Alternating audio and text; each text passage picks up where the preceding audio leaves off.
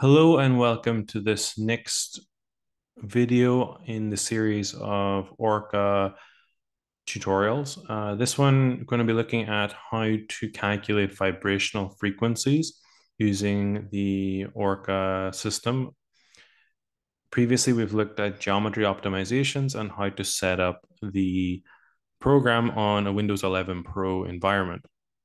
So uh, if you've followed along with the geometry optimization, you'll have had this h2o.inp input file. So we're going to use that as a basis. We're going to do the vibrational frequencies for water because they're really well known. So it's pretty easy to benchmark against the literature. So uh, if we look here, we had these two lines. The first line, uh, exclamation marks, are one of the ways to indicate in Orca that this is a line that should be read as a input parameter. So we had RHF, which was uh, a Hartree-Fock calculation. Then we had optimization, which was the geometry optimization. And then this def2-svp was just one of the simple uh, basis sets in the program because we just really wanted to get going. We wanted to show how geometry optimization might work. Then uh, after that, we had the normal print, print basis, uh, print MOs. So we had that because we wanted to visualize our molecular orbitals. Um, so I'm going to go ahead and delete that because in this one, we're looking for the frequencies. You could keep that there, but it tends to make the files a little bit larger, has a little bit more disk space. So if it's not necessary, as it's not really necessary here, I'm going to remove it but we could have kept it there. Then I'm going to save the file as something different. So I just call H2O uh, freq because that's for frequencies. So I'll save that. Um, okay. So uh, in the manual, if we go there, we can see like a bunch of different things. So here's the Orca manual, really nice document. Um, so we'll go to under eight running typical calculations. That's where they describe a lot of the inputs. Um, and if we go down to 8.4, which is vibrational frequencies, then um, it has a bunch of information here on how to run these calculations and some of the things that you might run into as problems. So here, uh, I'll let you read that if you want um, in your own time. It's really useful. The manual, in fact, is full of lots of useful information, both theoretical and also just generally on how to run the calculations. So uh, I'm going to go back to our good old friend, the Orca input library, and look under um, where was it? Uh, vibrational frequencies and thermochemistry. So we're mostly looking for vibrational frequencies. There's numerical frequency calculations, but since we're doing an optimization as well, we can actually couple our optimization with an analytical frequency uh, calculation, which um, is probably recommended for most jobs if it's available. So uh, here I'm going to use the frequency and I'm going to use this RIJ COSX um, because now it's the recommended uh, for the Hessian calculation in Orca 5.0. I don't think it was recommended before, but now it is. So I'm going to put it in here after opt. I'm just going to paste in that uh, RIJ COSX with the frequency, and I'm going to save that. Um, then, of course, the next thing would be to run this and just have a look. So I'm going to open up my terminal and then I've got to go to my Orca run directory, which is where I've saved that. So that's on my desktop um, in my Orca run directory. So I go there, then I check if the contents are correct. Yeah, I can see there h2o underscore freq dot inp. So that's what I want to run. So I go Orca, then h2o uh, freq. Then I want to send that to a new file um, dot out. I'll then hit enter and let that run. It should run pretty quickly. It's just a Hartree-Fock, and then it's just um, a pretty simple basis set. So there we go. So it's finished running. So if I navigate to my folder, um, I'll see a bunch of different files here. I've got the Hessian file now, which I didn't have previously. So if I open up the output file, here it is, then uh, make that a little bit smaller. If I go to frequencies, um, here are my vibrational frequencies. You'll see I have uh, a number of vibrational frequencies. I have nine in total. Um, so the first six are just um, because of the Hessian matrix calculation. So usually whenever you have a molecule, you'll have 3n minus 6 uh, vibrations. So in the Hessian calculation, it's 3n by 3n. So it creates um, some other frequencies which do not exist like that minus 6. Um, so this is just the minus 6. So these are meaningless to our calculation. And then um, they're just there. You just sort of ignore them. Um, then the last one, six, seven, eight. So we have the bending mode, we have the uh, symmetric, and we have the asymmetric stretches.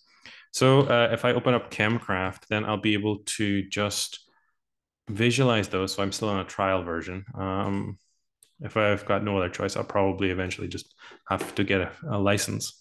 Um, so if I open up the H2O to Freq, then uh, business? Okay. So it's telling me that I can't visualize the molecular orbitals very well because I um, didn't include that information in the input file. But I knew I was doing that, so that's okay. Um, so uh, as normal, we have the geometry optimization. So we have an optimized geometry here for our H2O molecule, our water molecule, and then we've got the various frequencies here which do not exist. And then frequency 7, 8, 9, those are the ones that are available in the actual water molecule. So 7 is the bending mode. Um, then we have the symmetric stretch, and then we have the asymmetric stretch. So that's great. Now, these numbers are for the gas phase calculation using uh, a simple basis set and the Hartree-Fock calculation. So um, they're not terribly accurate. If we look up, for example, um, some literature values, we see that the bend is around about 1654 wave numbers, the asymmetric stretch around about 3,500 wave numbers, and the symmetric stretch around about 3,300.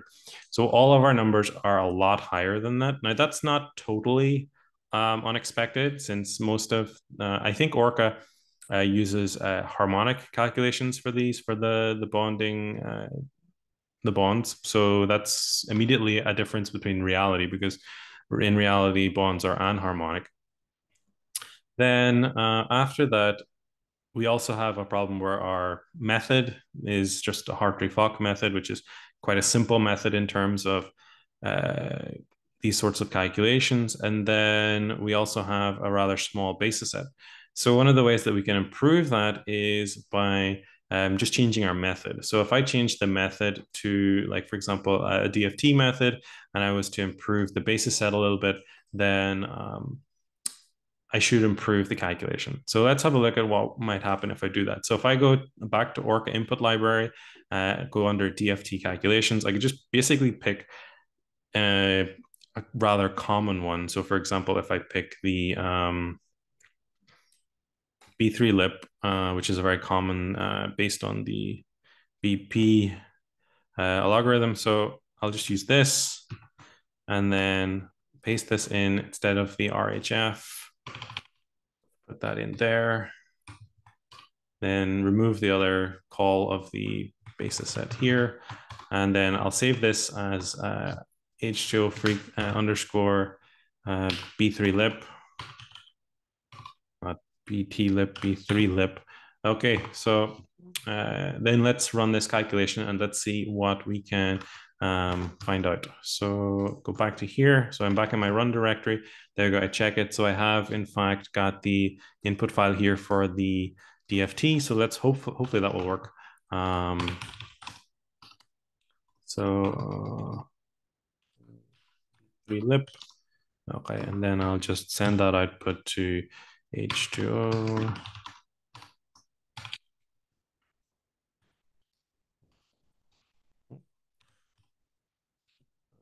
Hopefully this will work. And then I'll be able to show you how changing the method and improving the basis set a little bit um, can improve that. Now, I haven't really like spent a lot of time there looking at what method might be best for my vibrational calculation. Uh, I really just wanted to show quickly how you could grab a DFT method from the input library and then use that in your calculation. I'll make another video on sort of the do's and don'ts of DFT calculations, um, which methods might work best for your particular system. So anyway, so there, that seems to have completed successfully. So if I um, show this, then I'll just um, put them side by side so that um, we can uh, view that. So where is my B3 lip? Oh, well, this first of all, let's look at it in um, Chemcraft. So if I open uh, the B3LYP out, okay, so there we go. So you can already see the calculation uh, vibrations are lower than they were before. Um, you can see it's below 4,000 now, so that's good. and the frequency orders are still the same. So it's band, then symmetric, then asymmetric. Okay, so that's good. Um, so let's open the output file then in our text editor. Um, so where is it? Where is it? Where is it? Uh, okay, so let's just check to make sure that the, uh, yeah, so the optimization is converged. So I've got a good convergence. Then let's look under frequencies. Okay, so if we can compare these, uh, we can see obviously the first six um, are going to be uh, those which come from the Hessian matrix. So you can see already that the vibrations are lower um, by just changing that method, improving the basis set a little bit. Um, we have improved the, I guess, the match of or the amount of error between the calculated frequencies and the experimental. Um, let's see if I can show that one, this one. Okay, so where is that? Okay. So here they are in the Hartree Fock, here they are in the B3LYP, and here is what they, they are in the um, liquid water. So obviously there's a few differences because this is liquid water and not gas phase, whereas we're calculating in the gas phase, but these are sort of the values that we want to get closest to um, if we were doing liquid water. Um, so hopefully this was useful to you. Hopefully it showed you um, how to do a frequency calculation in Orca. Um, also some basic things that you could do to try and improve the quality of your frequency output. Um, if you have any questions, please just leave it down in the comments below. Um, I'll try and help you out if possible. And thanks for watching. Please stick around for future tutorial videos on Orca and just general uh, chemistry uh, tutorial videos. Thank you. Bye-bye.